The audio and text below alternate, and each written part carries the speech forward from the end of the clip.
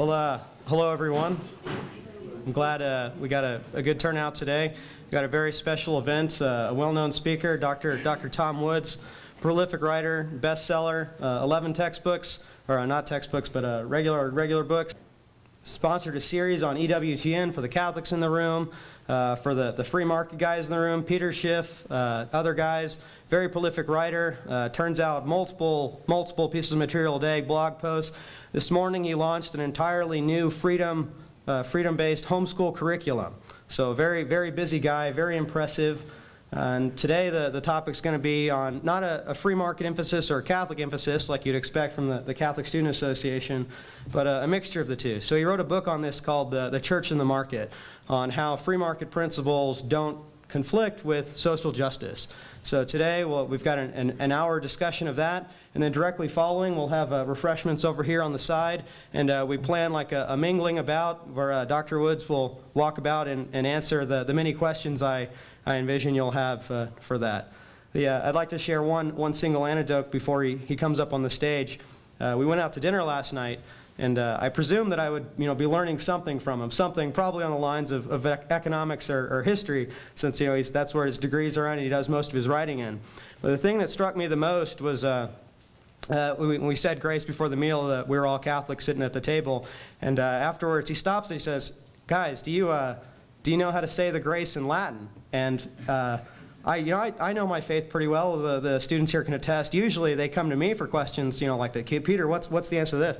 I had no idea. So not only in economics history, but an expert in, in, in Catholicism as, as well, especially the, the, the market aspects. So without any further ado, We'd like to uh, present Tom Woods on behalf of the Catholic Student Association and uh, sponsored by these guys behind us.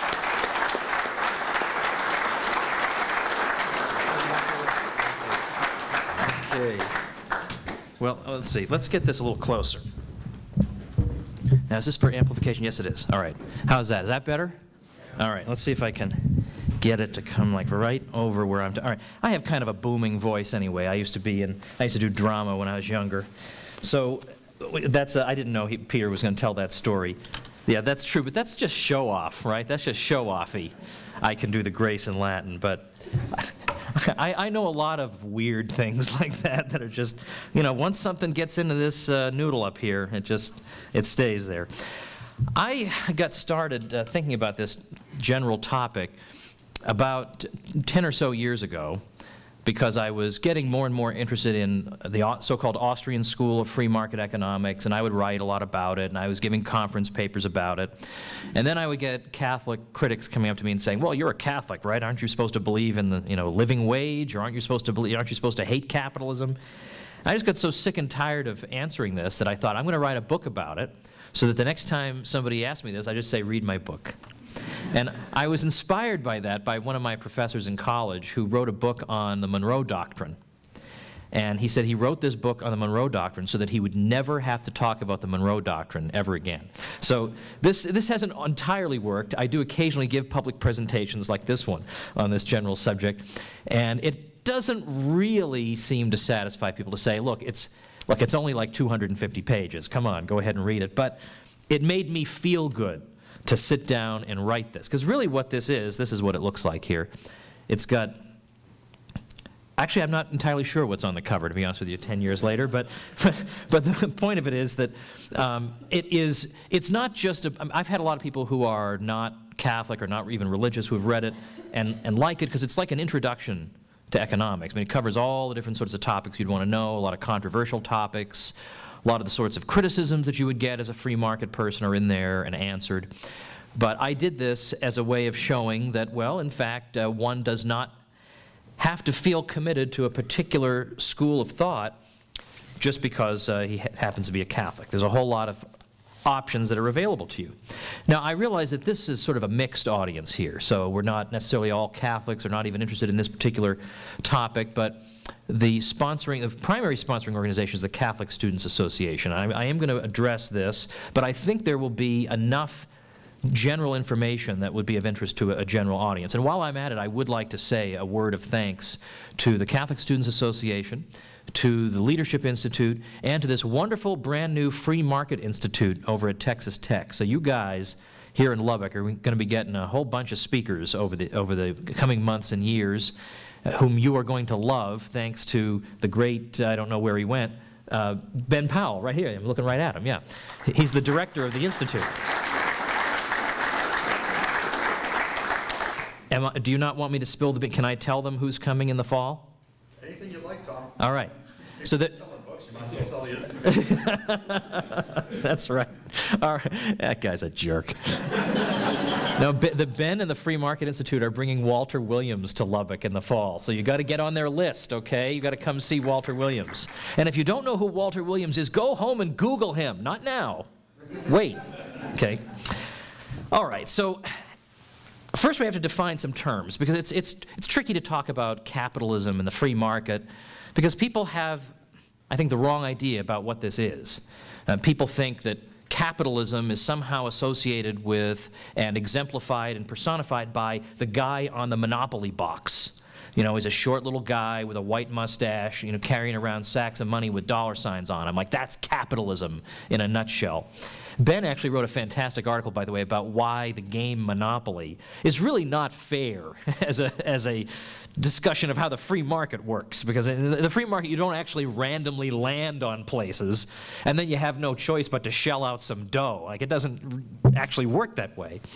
But people have these sort of boogeyman ideas of what capitalism is. We're all sort of propagandized into this from the time we're little kids into thinking that capitalism is about greed and grasping wickedness. And so it's very hard to crack through that.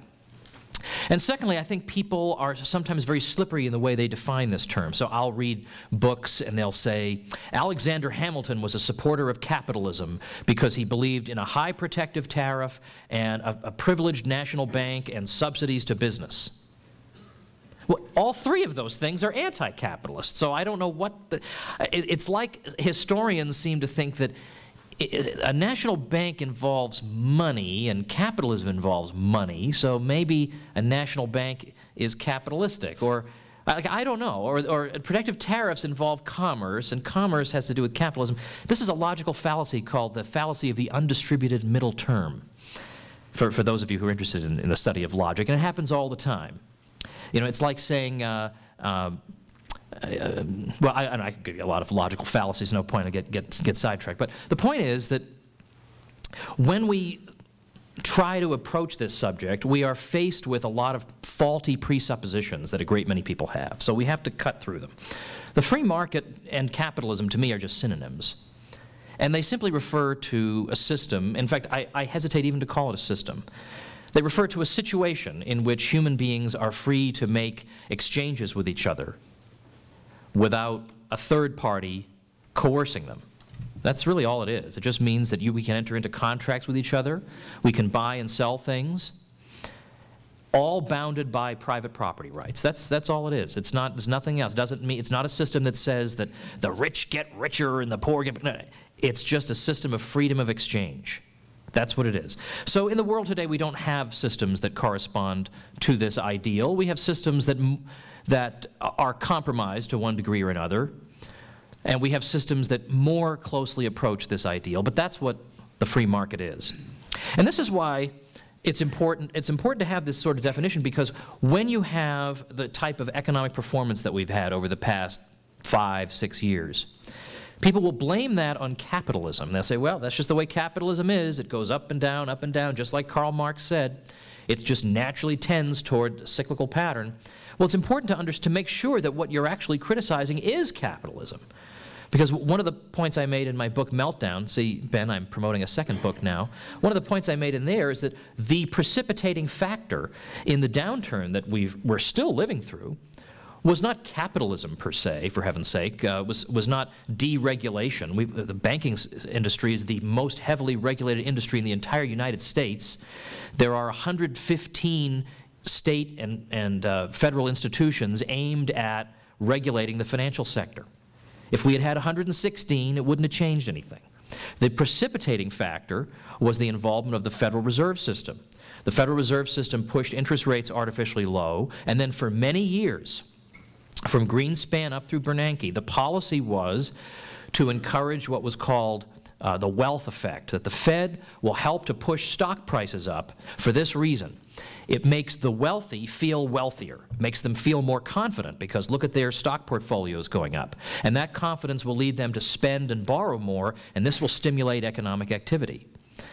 Well, that's nothing free market about that. That's just manipulation. That's just ginning up the markets. And so every time it looked like the market might come down a little, you had to goose the economy with more artificially created money. Or you had to goose the economy with bailouts, because without the bailouts, we would have had stock prices fall, and we can't have that because that would undermine this wealth effect. This is all planning of the economy. That's not the free market.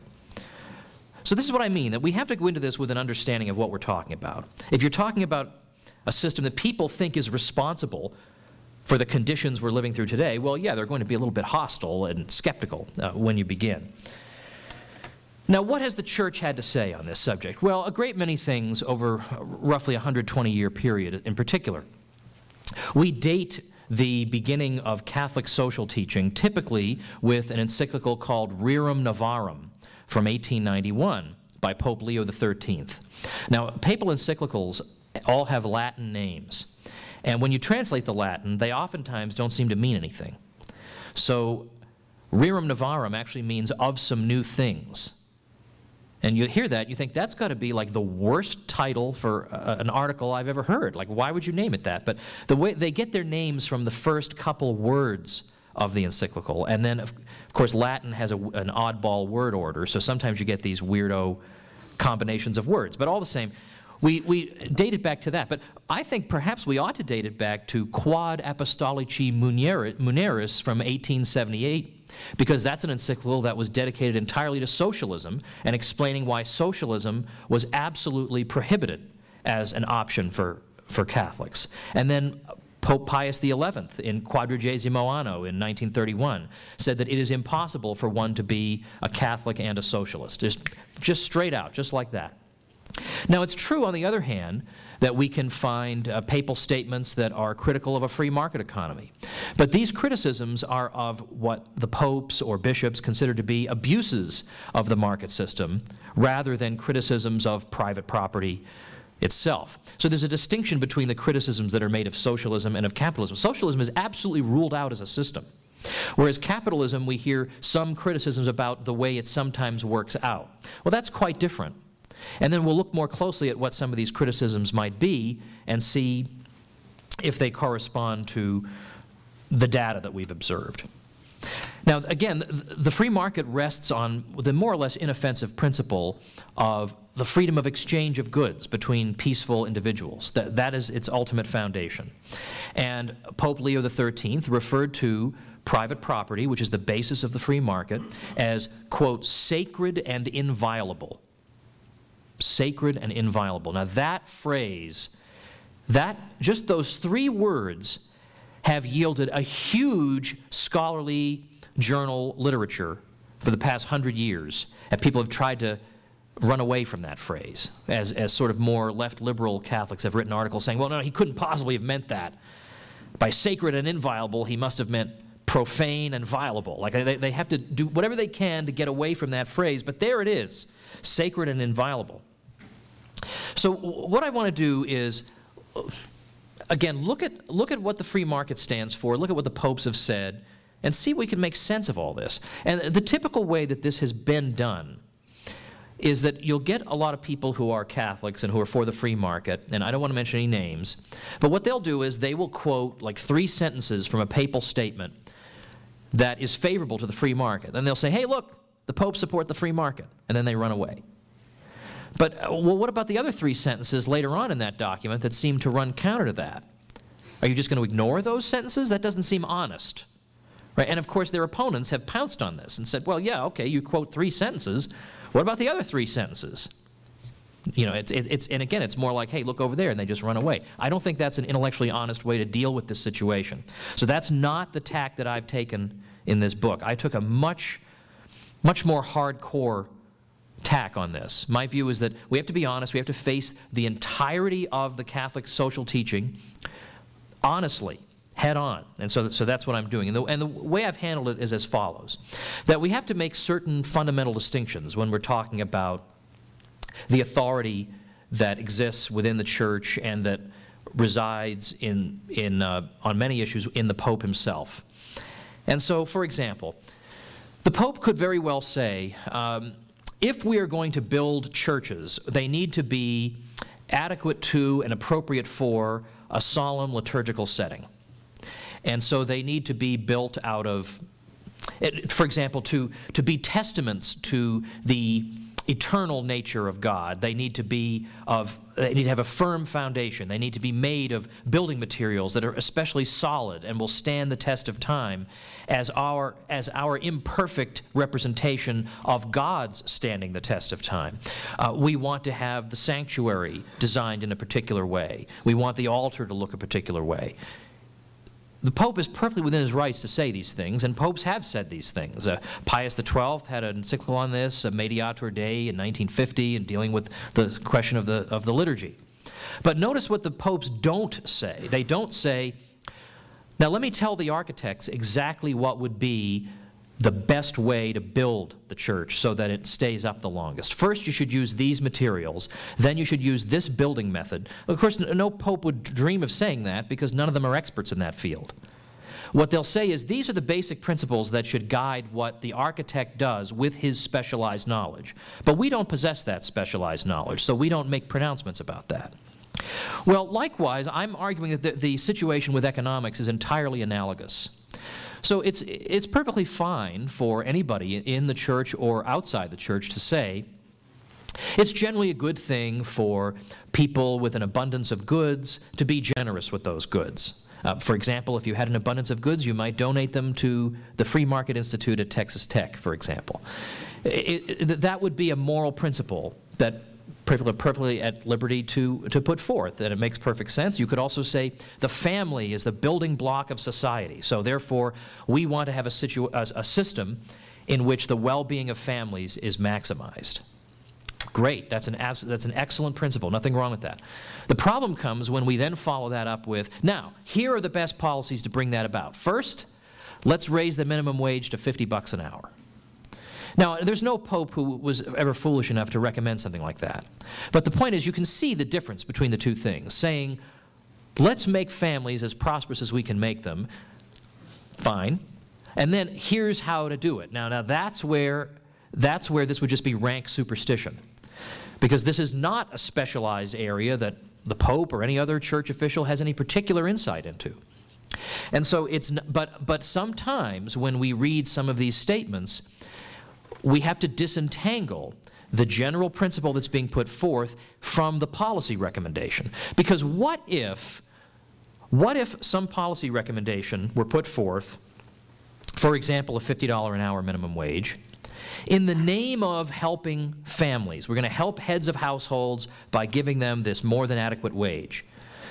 But what if the policy being recommended does not fulfill the requirement that the church official expects it to. So the point of the $50 minimum wage is to make heads of households better off. But what if it doesn't?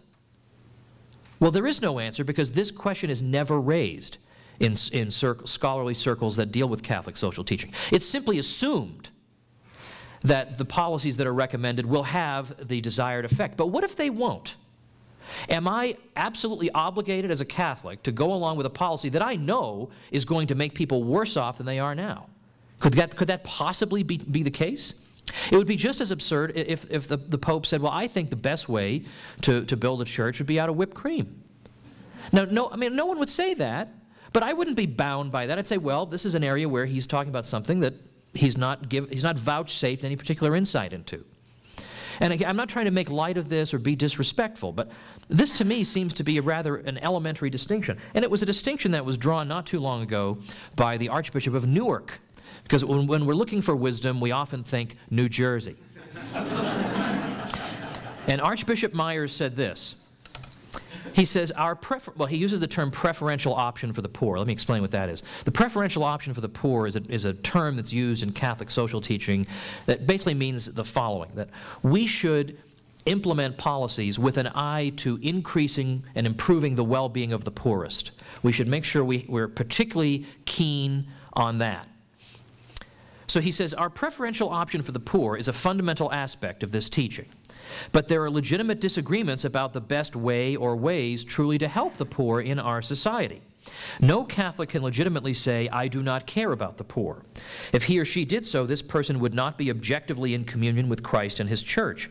But both those who propose welfare increases and those who propose tax cuts to stimulate the economy may, in all sincerity, believe that their way is the best method really to help the poor. This is a matter of prudential judgment made by those entrusted with the care of the common good. It is a matter of conscience in the proper sense. Okay, well, that's, that's my point. I am not saying that uh, everybody in the church has to read Ludwig von Mises like I do or, or, or enjoy the economic writings of Murray Rothbard as I do, but just simply that we can have legitimate differences of, of, of opinion on them.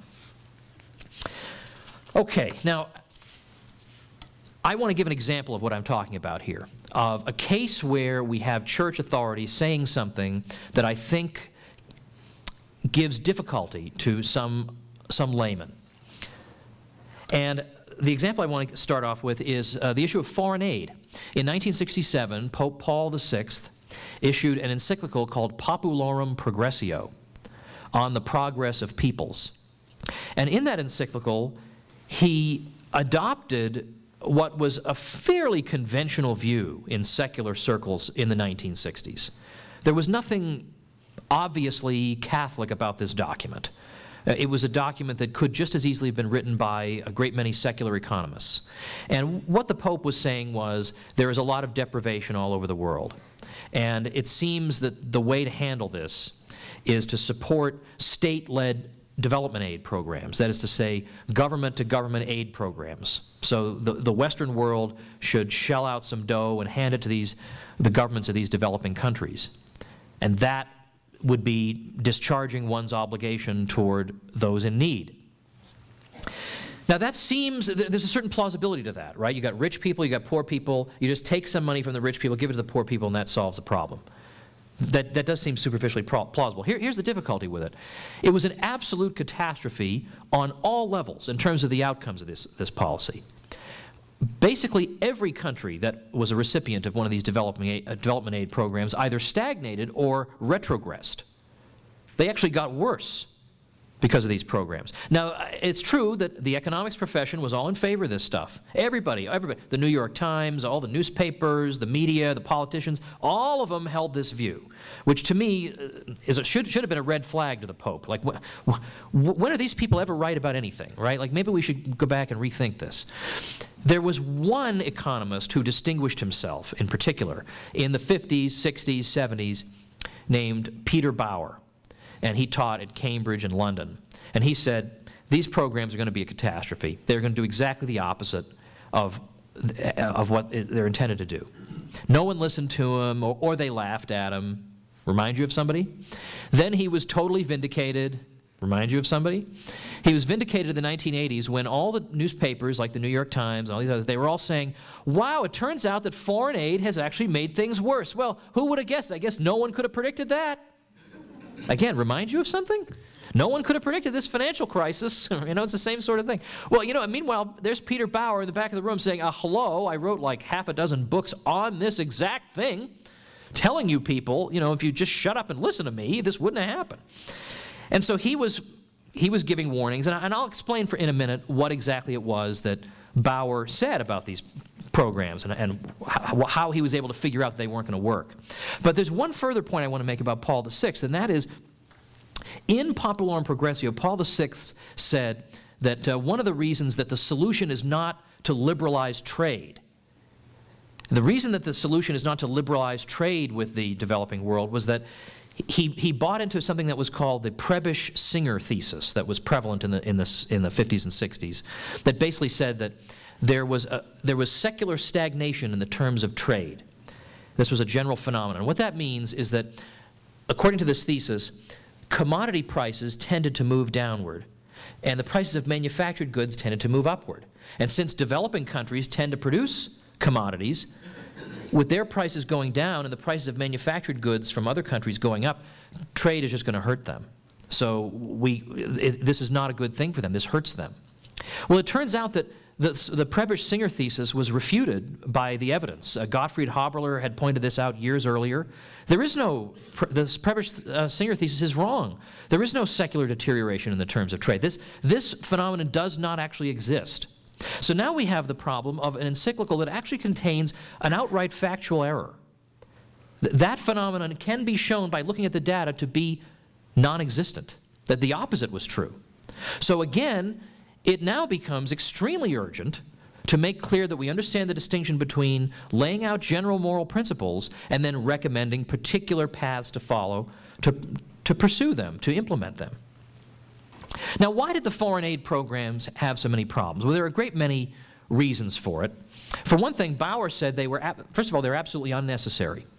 And he said, now, if they were necessary, because the argument for why they were necessary was these countries that are developing, they're really, really poor. What they really need is investment, because if they could, they could invest, they could buy equipment that would help to produce more goods, and now they'd have more goods, they'd be richer, and they could invest more in machinery that would produce even more goods, now they'd be even richer, and this is the path you need to get going. But the problem is they're so poor, they can't make that initial investment. So they're stuck in this circle of poverty. They, they don't have enough to make the investment, so they continue to be poor, and that means they, they can't make investment next time around. They continue to be poor, and they're just stuck. And Bauer said the problem with this thesis, one of the, just one of the problems is, if that were true, we would all still be in the Stone Age. There would be no wealthy countries because that would be true of everybody. How did the first, if foreign aid is how you break out of that circle of poverty, here's the money, now you can do your investment. Where did the first rich country get its investment capital? From Martians? Like, where, how did it happen? So that can't be right. There's, right away, there's something wrong with the logic of the programs. He argued that the foreign aid delays necessary reforms. Why reform your economy and your economic policies when you're getting free money? The worse your economy is, the more free money you get. Well, why would you bother changing? He found that the aid entrenches the worst regimes in power because the money is not going to hungry people. You know, th this much should be obvious by now. The money goes to the government, which then figures out what it wants to do with it. Buy off certain constituencies, sometimes subsidize the middle class, but the poor meant nothing to them. Poor have no clout. Why should I give this money to them? So it, it, made the worst regimes stay in power even longer, because now they're getting all this extra dough to prop themselves up with. It also gave perverse incentives. The, the, the aid was a bad in itself, because now there was less incentive to think about ways to satisfy your fellow man and earn profits that way, and more of an incentive to think of ways to get hold of the grant money. Well, this is not suitable if you want to have a sound economy that's geared towards satisfying consumer wants. Uh, but there are many more reasons as well, and we can also see practical examples. When, when Hong Kong had its aid cut off, it absolutely flourished. It realized, well, now we, we can't be silly anymore. We've got to really adopt a market economy and we'll just open ourselves up to uh, liberal trade. And in fact, if it were true that, that trade was a bad route for these countries to take, then the most isolated tribal societies in the world should be the wealthiest because they weren't being exploited by the West. And yet, that was exactly the opposite. The more they opened themselves up to trade, the more prosperous uh, these countries became. All successful economies in the world have, at least to some degree, stable property rights and a legal system that is, in one way or another, favorable to, toward commerce and, and free exchange. And that advice is the best thing that the Western world has to give. Certainly not billions of dollars to some rotten cannibal who's who you know who actually I mean th there actually were uh, at uh, for a time in, in Africa there actually were political leaders who ate people. It actually did not help to give them money, as it turns out. well, now the now uh, that was all gone for a long for about 20 years. People agreed, yeah, this just didn't work, and in fact, uh, Margaret Thatcher honored Peter Bauer and, gave, and, named him Lord Peter Bauer. And then right toward the end of his life, he won the Milton Friedman Prize from the Cato Institute, which carries a $500,000 cash award. And then he died like just like that. So it's just like poor Peter Bauer, right? He's totally ignored, ignored, ignored. And then finally, this is day in the sunshine. And then, but he, he, did, he did his work. And yet, I wonder if he's rolling in his grave because now in the past 10 years, now they're calling it the new economics of foreign aid. Well, this time we'll try to give the money to people who don't eat other people, and then maybe it'll work better. But as I've said, there are perverse incentives that are associated with the aid that, that make it on net a bad. There are things that voluntary organizations can do that are a heck of a lot better. And it turns out that in the United States, Americans voluntarily donate twice as much money to various overseas causes than the U.S. government gives to, in, in many cases, counterproductive causes. And of course, they would do more if they didn't have all their money being taxed from them. All right, so that's, a, that's an example of what I mean. It obviously could not have been binding on somebody. Yes, I am bound by religious obligation to support a policy that is going to have these outcomes, these, these, these results. So that's why it's important to make proper distinctions. Now, the second point I want to make uh, involves Pope Leo XIII. Now, Leo XIII had an important anti Marxist insight. Karl Marx had the view that labor and capital are necessary antagonists, right? They have interests that are entirely contrary to one another. But Leo XIII rejected this. He said, no, no, no, capital and labor are not, are not hostile forces facing each other, they're complementary. They, their interests together are harmonious. Now, that is an important insight, and I think the best way to show how that insight is instantiated on the free market and reflected on the free market is to use a thought experiment that I've used a, a lot of times. I, I, give this example. I, I, I say, let, let's suppose, let's suppose one day we woke up and Martians had indeed landed and they had, they had left with all the productive equipment that we use, all our capital goods, all our assembly line equipment, all our transportation, uh, all our communication, all our cell phones, and all they left us with were the telegraph and, uh, I don't know, horses. Now, obviously, we, I mean, I haven't got the slightest idea how to use a telegraph, and I suppose I could ride a horse, but this would be pretty devastating to us. And, and think about why it would be devastating. How much could we produce under those conditions when basically everything would have to be produced with your bare hands? Could, could you produce a plasma TV from scratch with just your bare hands? Could you produce a refrigerator with just your bare hands? Now, I mean, I'm talking about things, for example, let's, let's imagine goods where there's a lot of steel that's necessary. Let's, uh, let's say we have to build an automobile could, could you do iron ore work, uh, mining iron ore with your bare hands? I mean, just think of all that would be required. Of course, there would be whole classes of goods you can't produce at all. And what goods you can produce, you can produce only in, well, minimal uh, quantities. I mean, I think about my own father's case. My father was a forklift operator for 15 years in a, in a food warehouse. And he used this forklift to lift these very heavy pallets of food and move them around the warehouse.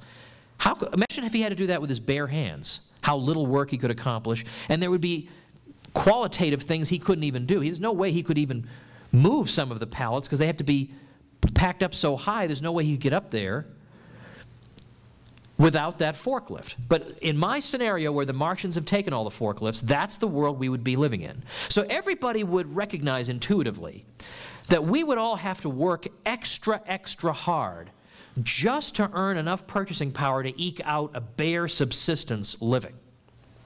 We would all, I think, instinctively understand that if we said, well, Martians or no Martians, I ain't working more than 40 hours a week.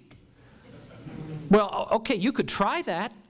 But 40 hours a week with your crummy bare hands as compared to 40 hours a week with all these machines that we used to have is going to produce a tiny, tiny amount of production.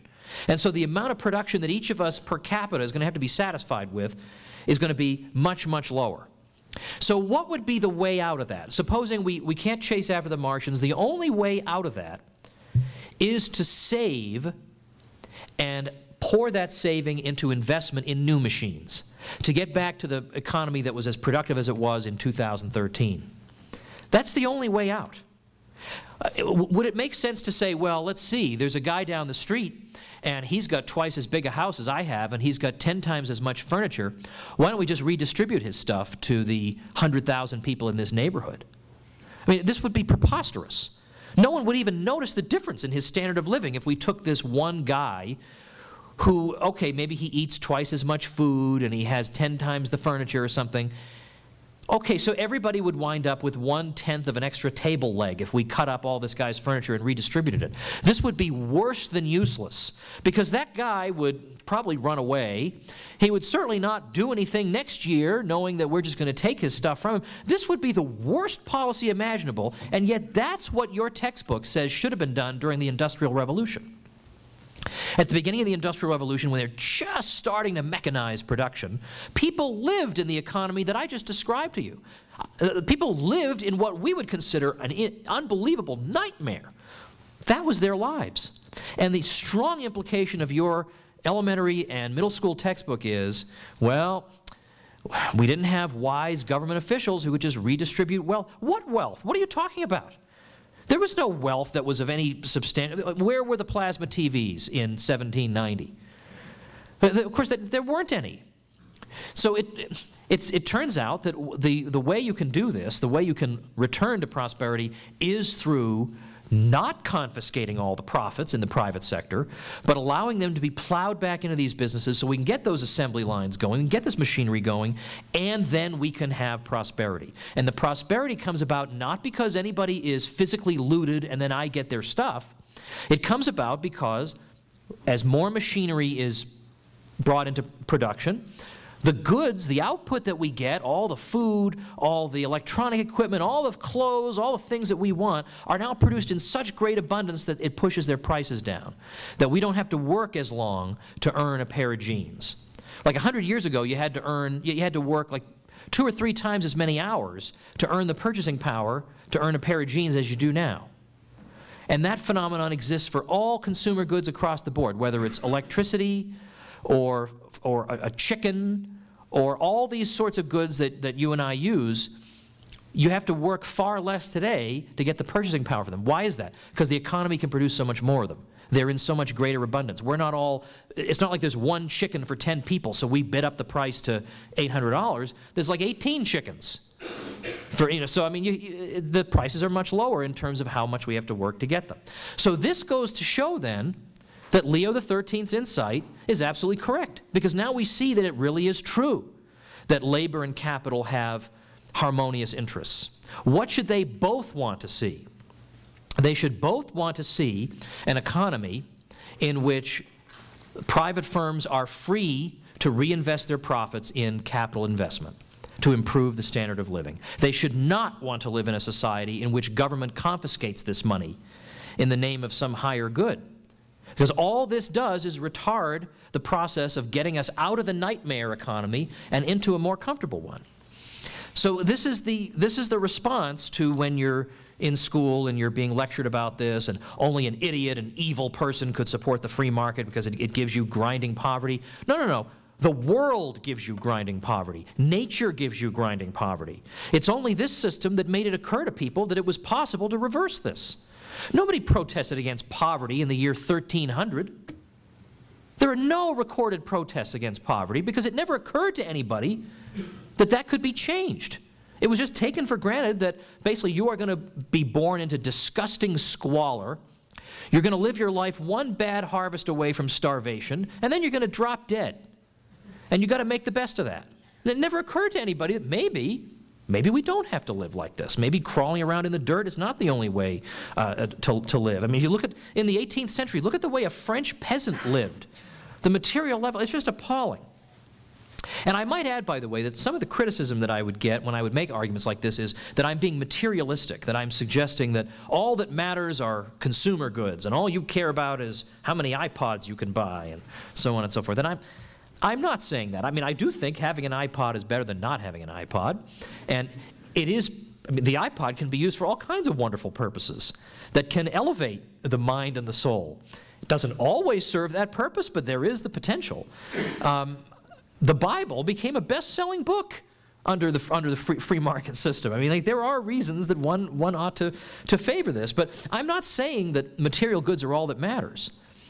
But if you are better provided for materially, you are more able to have the leisure time to pursue an interest in uh, Renaissance painting or Gregorian chant or whatever.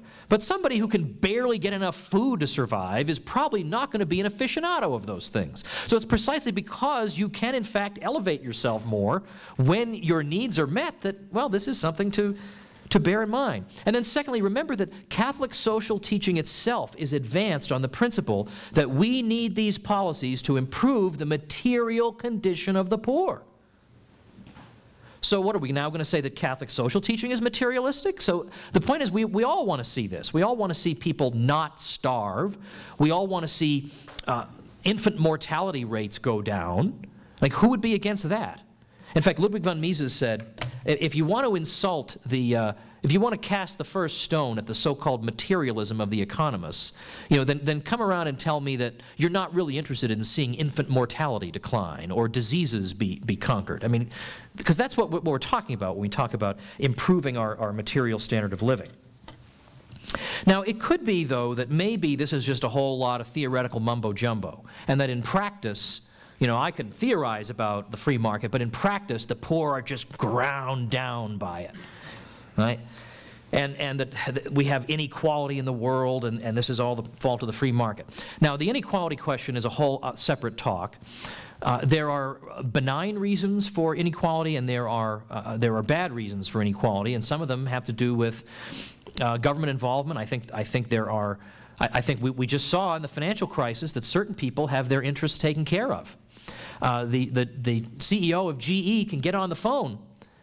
The, the CEO of uh, Bank of America can get on the phone. They, these institutions can call up and say, hey, I want you to ban short selling, because that would give us some breathing room, and done. Hey, I need a big bailout. I, I, I made dumb decisions, and I, I don't want to have to face those. Done. Well, that's a bad kind of inequality. There was inequality in the Soviet Union. If you were part of the bureaucracy, you were well taken care of. So it's not that, well, if we have communism, then we'll have equality. No, no, no. The people administering the communism then become the unequal ones. I, will just point out parentheses. I have a, a friend who used to live in the Soviet Union. He told me a few years ago that the real story of what daily life was like there has never really been told. He said, I'll just give you the most trivial example. He said, if your toilet backed up, you could not get a plumber to fix it. Now that seems like a small thing, but it's actually quite an indignity to have to deal with a backed up toilet for months on end. That's here, your toilet's backed up, you get a plumber, it's fixed, end of it. Or, or you go on YouTube and you find how to fix your toilet or some kind of thing, you do it.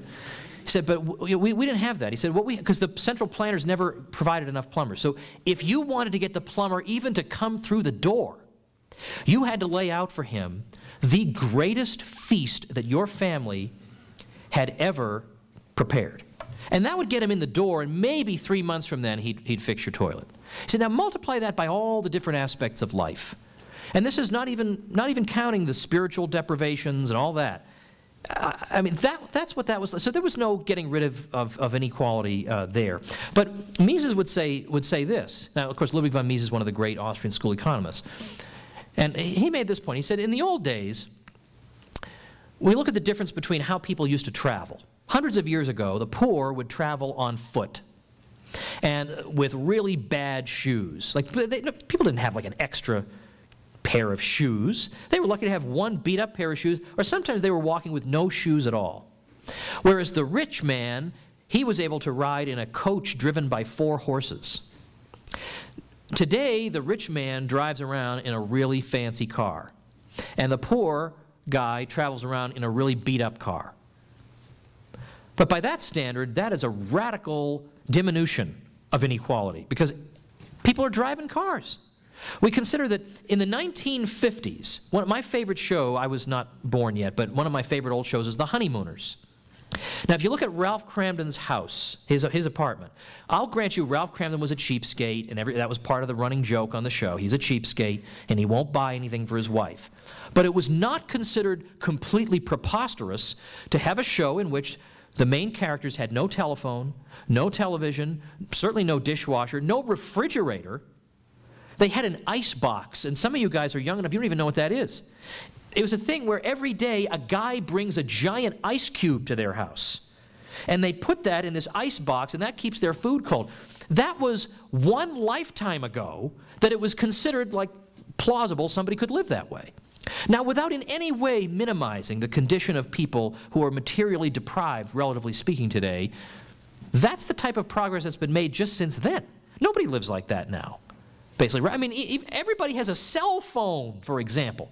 I mean, no one could have. People thought it was cool in the 1990s to have a car phone with a big, with a cord that went like one foot. You could kind of barely drive while talking on it, and you were like the king of the world. Whereas now we would laugh at you as some kind of a chump for this.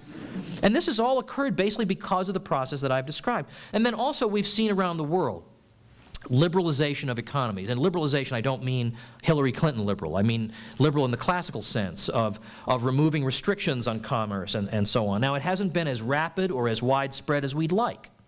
But if you look, for example, at India, where there's been a tremendous move toward freer markets, India's real GDP per head more than doubled between 1980 and 2000. And in China, of course, we've seen uh, dramatic uh, improvements, although, again, there are obvious problems there as well. But poverty has fallen dramatically around the world. This is the opposite of what people would think. If you ask the average person on the street, what do you think the trend in poverty has been around the world over the past uh, 50 years, 60 years? I'm pretty sure that person would say, oh, it's gotten much worse. I, am virtually certain that's what I would get. The exact opposite is the case. In the past 50 years, we've seen more progress against poverty than we've seen the previous 500 years. That in 1820, we had 85% of the world living in what economists call absolute poverty. Poverty of a level that Americans can't remotely conceive of. 17 out of 20 people lived in that. Then you get down to 1950, and that was down to 50%. Then by 1980, early 1980s, it was down to 33%, and then with the new millennium, it was down to about 18%.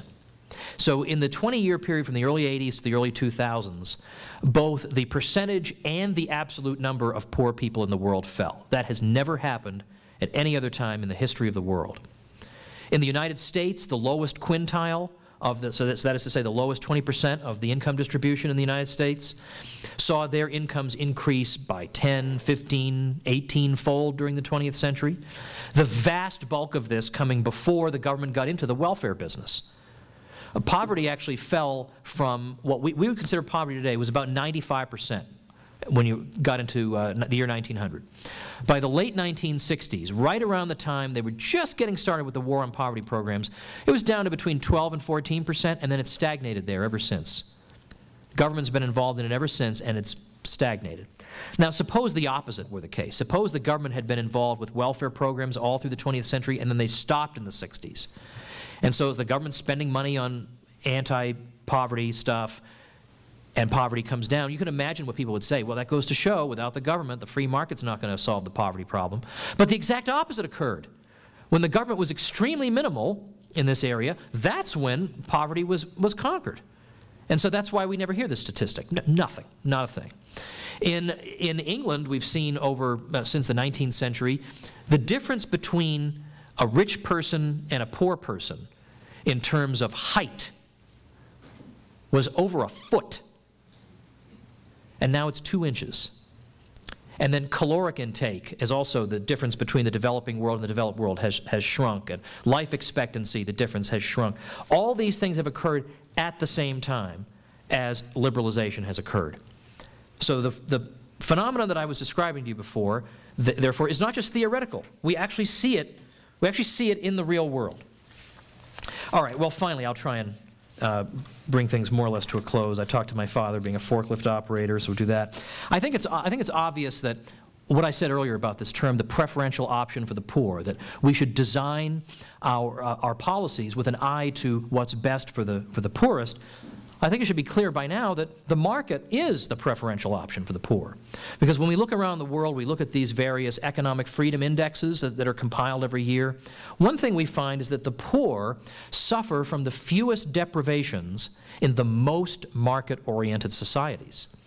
So even if you wanted to say, well, we've got to have the, we've got to make sure the government is pursuing the policy that is best for the poor, leads you to the same outcome, uh, uh, namely the free market.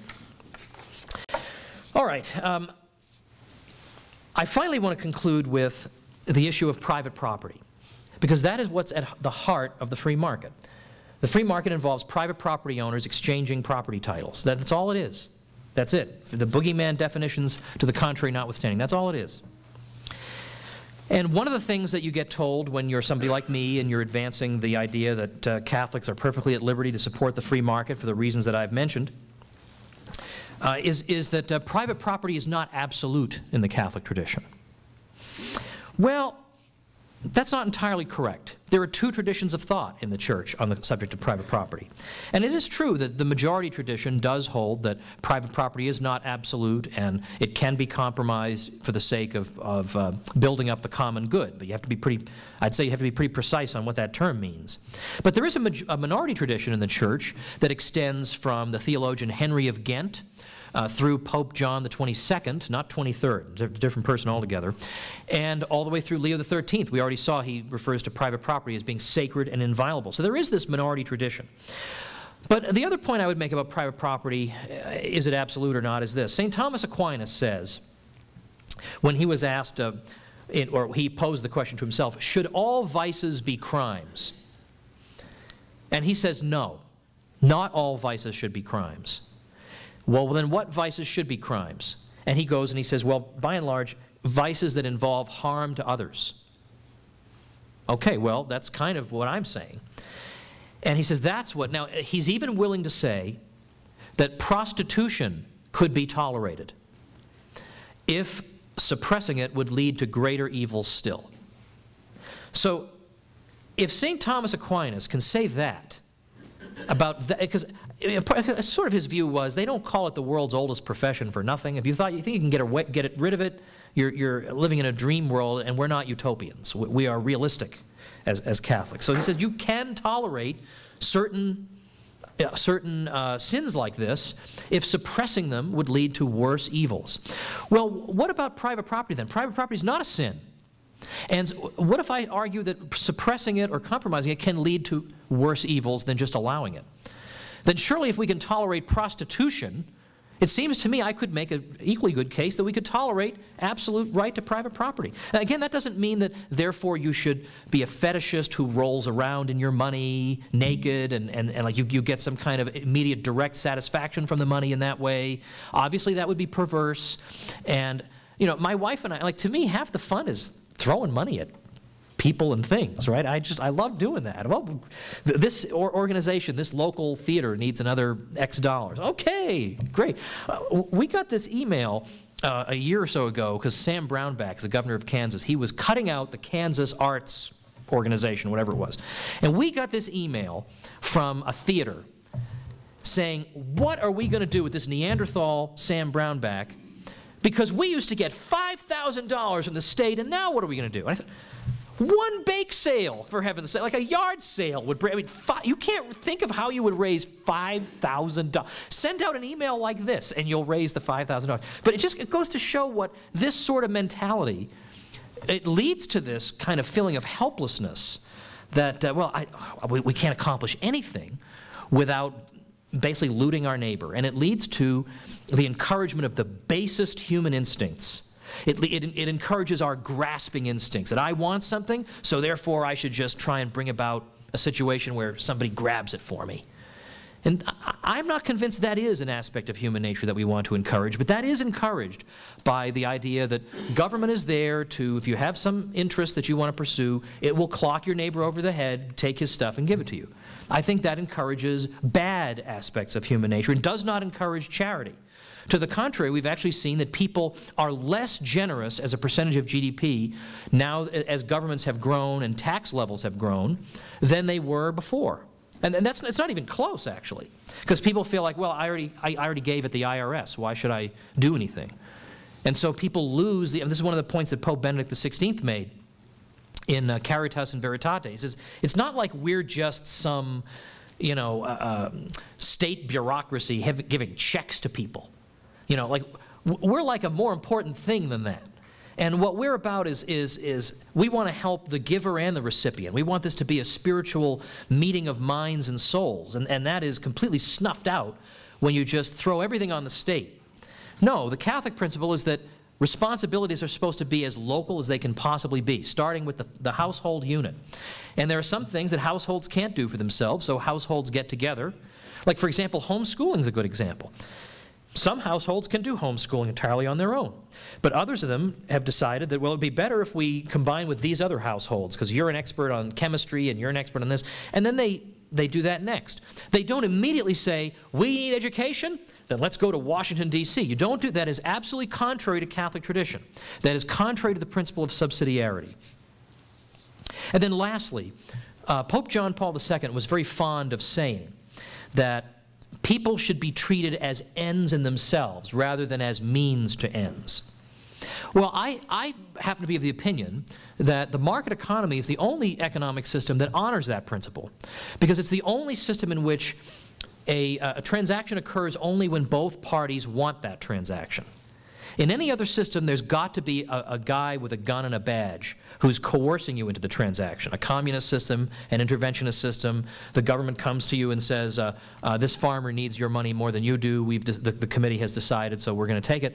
Well, that's using me as a means to an end. That's not using me as a, that's not treating me as an end in, in myself. And John Paul went on to say, the moral causes of prosperity reside in a constellation of virtues industriousness, competence, order, honesty, initiative, frugality, thrift, spirit of service, keeping one's word, daring, in short, love for work well done. No system or social structure can resolve, as if by magic, the problem of poverty outside of these virtues.